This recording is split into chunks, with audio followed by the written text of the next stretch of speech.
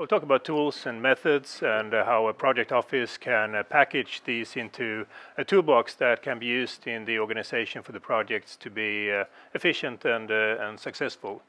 And I will use examples from, uh, from uh, our toolbox called POT, but there are, of course, many other tools available in the market that do the same thing. Why should we have a toolbox? Well, we hear a lot that development is going faster and faster, and that's probably true. And uh, not only shall we start up uh, projects and finish them quickly, we shall be agile and uh, handle change. And uh, uh, when we make decisions, they should not only be, be fast but uh, smart, so we need all available information at hand all the time to make these decisions. And that's probably a, a good reason to have a toolbox to help us with this. what we want to achieve is speed, often uh, the startup of a project can take a lot of time, so if we can speed that up, uh, there's a lot to gain.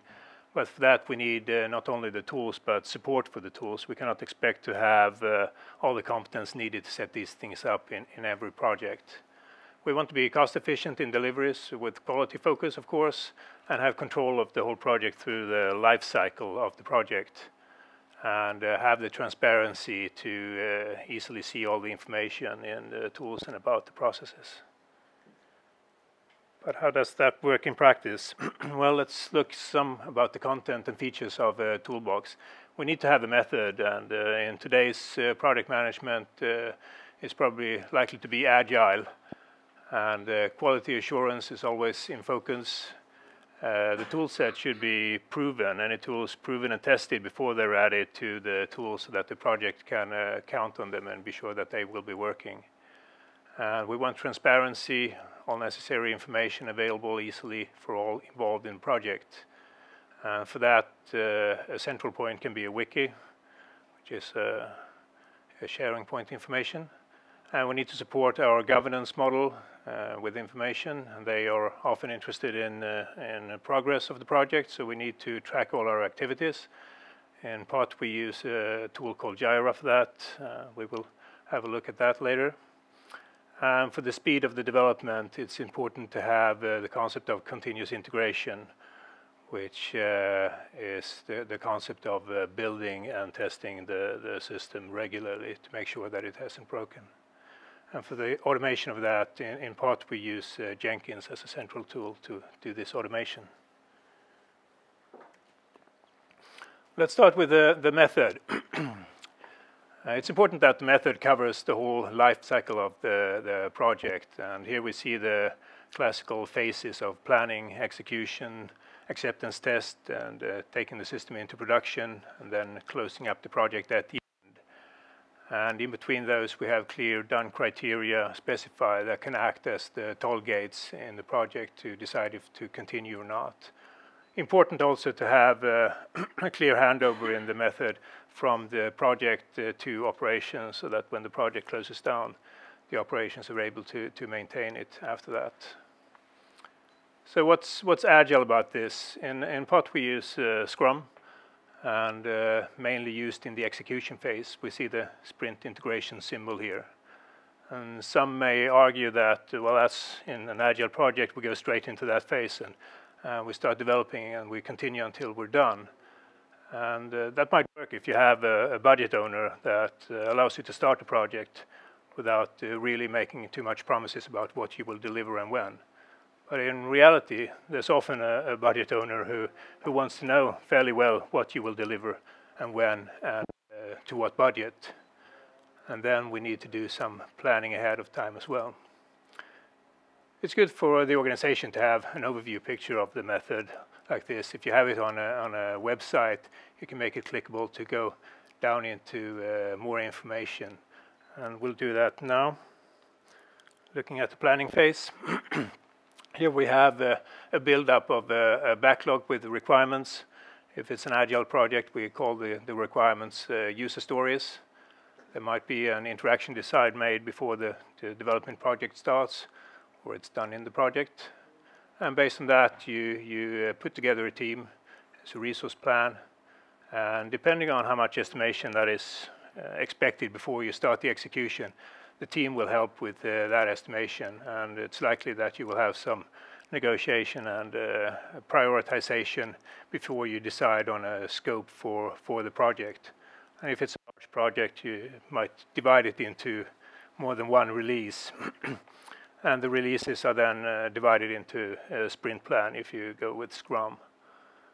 And uh, if you have this kind of fixed budget, fixed scope uh, project, then uh, there's nothing stopping you from actually doing the full breakdown of the requirements and estimating them and, and dividing them into sprints throughout the whole uh, project. And then you can still use the, the Scrum method and you can profit from being able to handle changes in a, in a controlled fashion during the project. And then in the execution phase, most of you probably recognize the, the Scrum method here. We have the sprint planning preparation or a backlog grooming, where uh, you make sure that the top priority stories are are well defined before you go into the sprint planning, where you move those stories into the sprint backlog. And then you execute them, and uh, afterwards we have a sprint review or a demonstration of what we have achieved in this sprint. And we finish up with the retrospective to uh, gather the lessons learned from the sprint so that we can make improvement before starting the next sprint.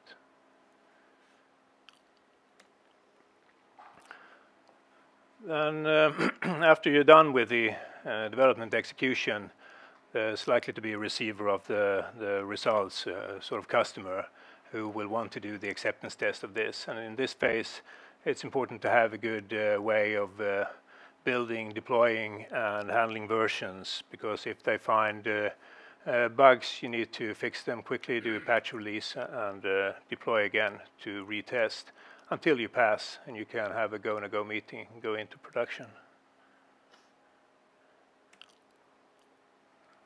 And, uh, the first period of the production there might be a guarantee period, and uh, in any case, you need to hand over the last parts to the operations. So it's important for the project to be active for a while until that's completed, and that you have a, a done criteria that will guarantee that you don't uh, leave the operations without the necessary competence.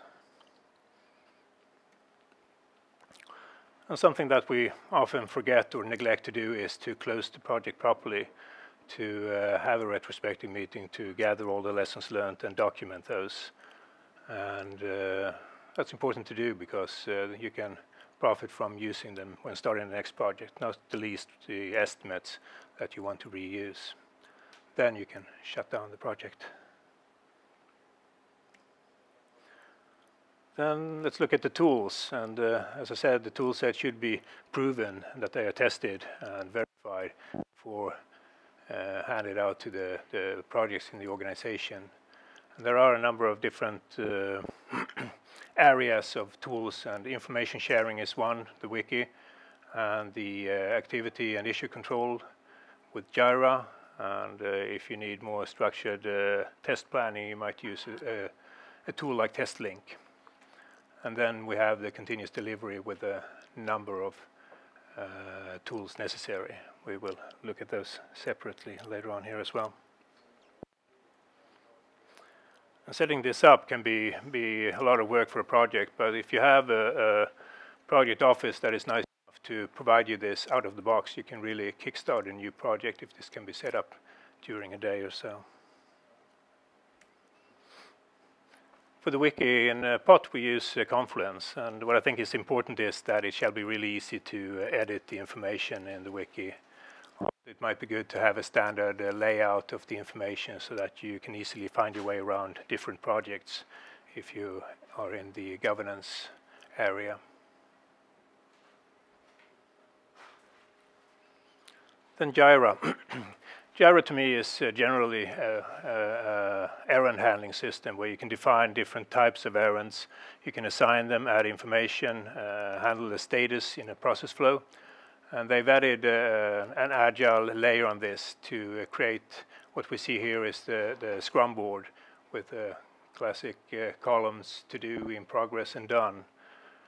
compared to a manual Scrum board on the wall with the index cards, you may think that you lose uh, some of the overview using an electronic tool like this. But apart from that, uh, I only see advantages because you don't have to have this big wall available. And uh, today it's feasible to have a big flat screen in the team room if you need to have the overview. But you can work with uh, distributed teams. Perhaps you have part of your team in India or China, or you have uh, project members that need to work from home for a few days. Then uh, this electronic tool is really good to have. So what we see are the stories and tasks that uh, are defined for a sprint. And at the beginning of the sprint, they're all in the left column.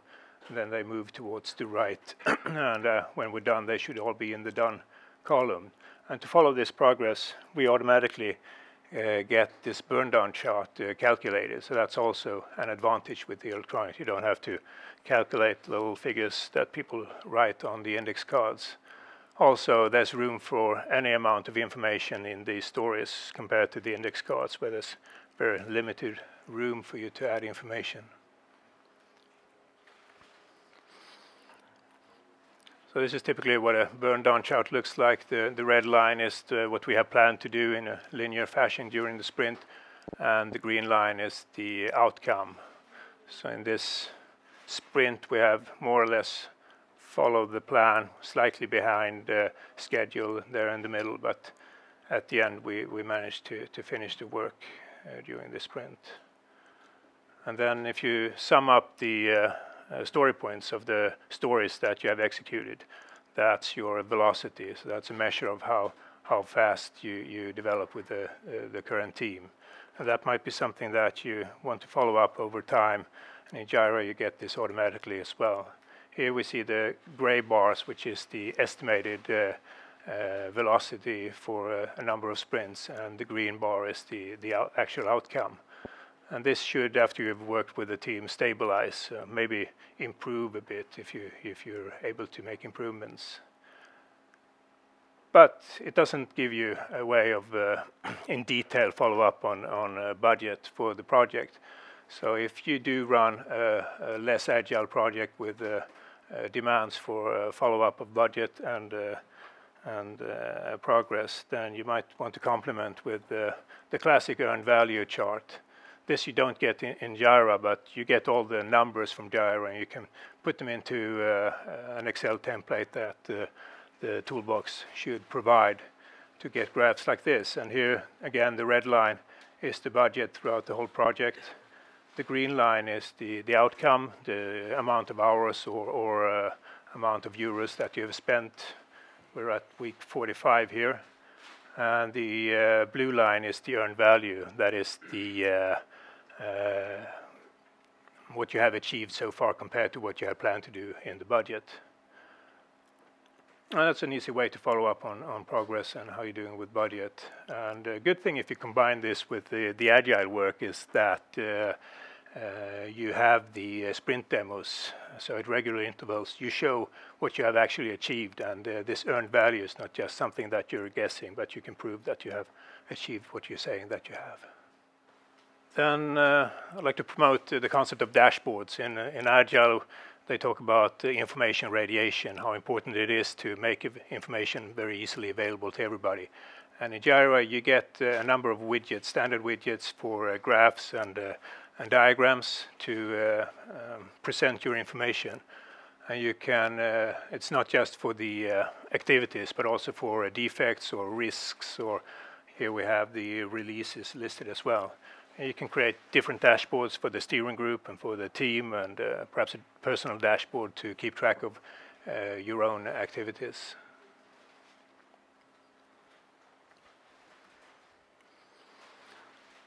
Then continuous integration being the automation of builds and, and uh, unit tests and the extension of that to continuous delivery where we also uh, do the full testing and uh, deploy and install and deliver uh, the system. This is fairly advanced and uh, uh, requires a number of tools. So we'll have a look at some of those. First, you need a, a code repository for the version revision control. And two popular tools for that are Git and Subversion. Uh, Subversion is a bit simpler, has been around for a while. Git is more advanced, and you can install it in a in a distributed environment as well. Uh, for the automation, uh, we use Jenkins uh, to automate this whole process. And then code review, that's something that is uh, an essential POT of the uh, quality assurance. And it can be automated to, to some extent. In uh, part, we use Sonar tool for this. And it's a good way to uh, quickly provide uh, the developers with information about if they follow the code standards, if they have uh, built in something that could be a bug but hasn't been caught by the compiler, and so on. And then here we see the, the complete flow of the continuous delivery. It starts with the uh, developers uh, checking in code during the day into the code repository, and then typically once a day, Jenkins uh, starts the automated process of building and uh, uh, building the components and unit test the code. Uh, can use a tool like Maven for that. And then after that, you need to put the components together to a complete system perhaps bringing in third-party components.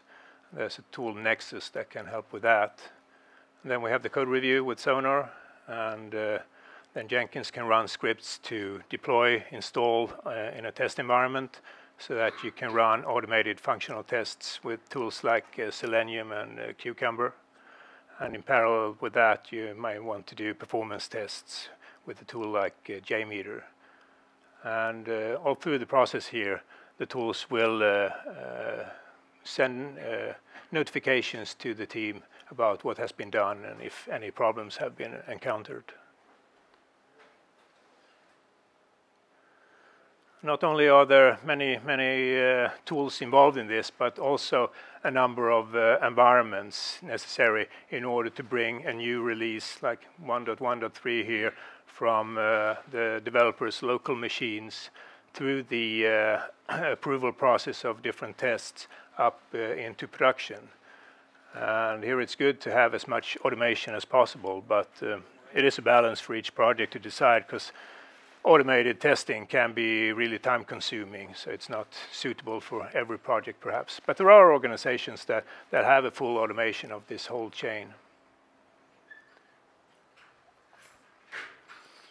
Then if we zoom back out again a bit to see if uh, our toolbox supports uh, all our forums in the, in the project, we typically have an extended steering group uh, responsible for resources and budget, and they probably just want a, a, status overview of the progress. Then we have the operative steering group. They want a lot more details about the status, including KPIs covering uh, efficiency and quality, etc. And we have the team that need information, but also uh, the tools to, to execute the project in the sprints with planning, execution, demo, and uh, retrospective. And the question is, do we have the transparency making all the necessary information available? In the areas of uh, progress, we've seen we have the burn down chart and we have the earned value. We have test status and uh, information about the releases that we have uh, delivered. For quality, we have uh, defect status and uh, test coverage. And in the area of efficiency, we have the velocity in the agile team. And if we use earned value, we can also have performance indicators for cost and, uh, and schedule. So to summarize a bit, with a well-composed toolbox, I think you can uh, support uh, various types of projects, large as well as small, and co-located as well as distributed, and also if they're working more in an agile fashion or with a fixed scope and budget. And uh, if you have a toolbox and a method that covers it all, then it makes it easier. And that was pretty much what I was going to say.